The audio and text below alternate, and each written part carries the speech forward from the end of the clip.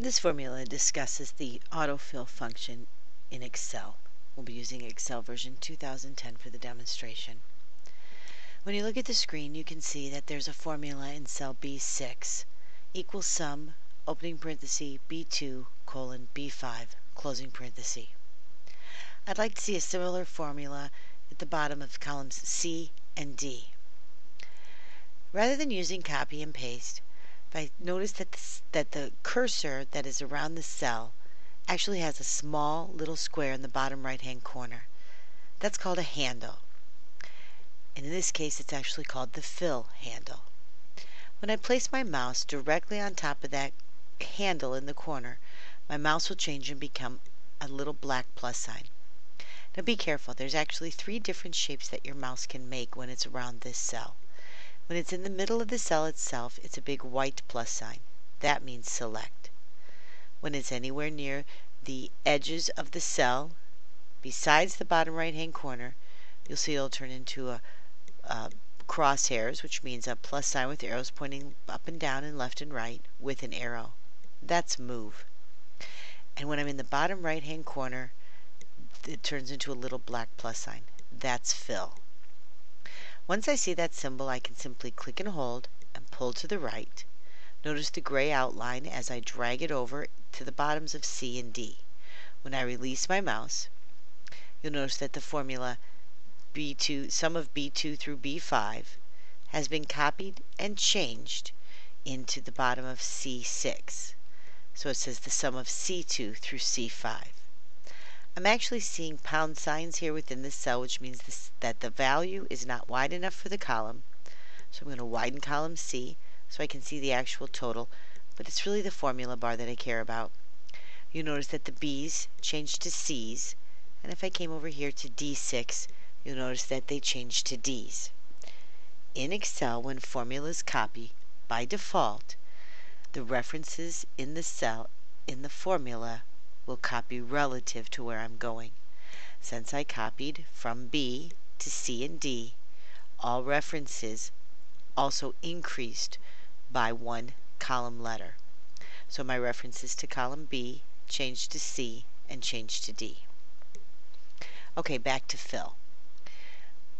Here's a formula in E2, the sum of B2 through D2.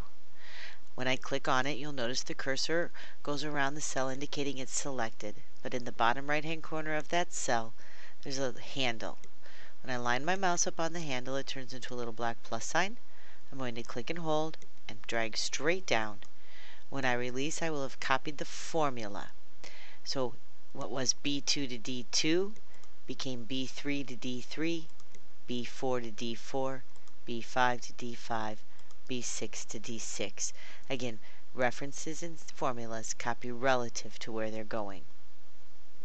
So this can be quite an effective shortcut for copying when the data that I want to copy is directly next to the cell I want to copy the data into. It doesn't work if I want to copy something from column B, say over to column G. In that case, I have to use copy and paste, like I do in other programs. This is called autofill because it actually has some other features. Here I am just in a blank cell. And let's say I had just the month abbreviated, Jan.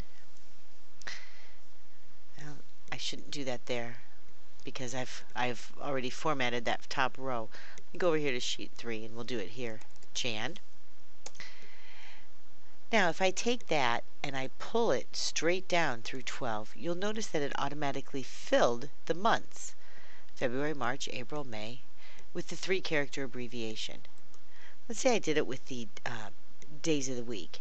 Again, I'll use the abbreviation MON, line that mouse up in that corner, click and hold, and pull down, and you'll notice I'm getting the seven days of the week abbreviated. And I could do either of these abbreviated or spelled out. Here's Monday. After I've entered it in, I go to the bottom right hand corner, click and hold and pull down. I don't have to start with Monday. I could have started with Wednesday or, or Thursday or any day of the week. And as I copy down, I can even go farther. It will just repeat and repeat and repeat. This is why it's called fill. There are a lot of other features of fill that you'll discuss when you actually take an Excel class. But remember for now that when you place your mouse in the bottom right hand corner of the cell, it will fill the cells you drag to with something. In the case of a formula, it will copy the formula. But sometimes the word that you're trying to copy might be part of a series, like the month or the day of the week, in which case it will replicate that series.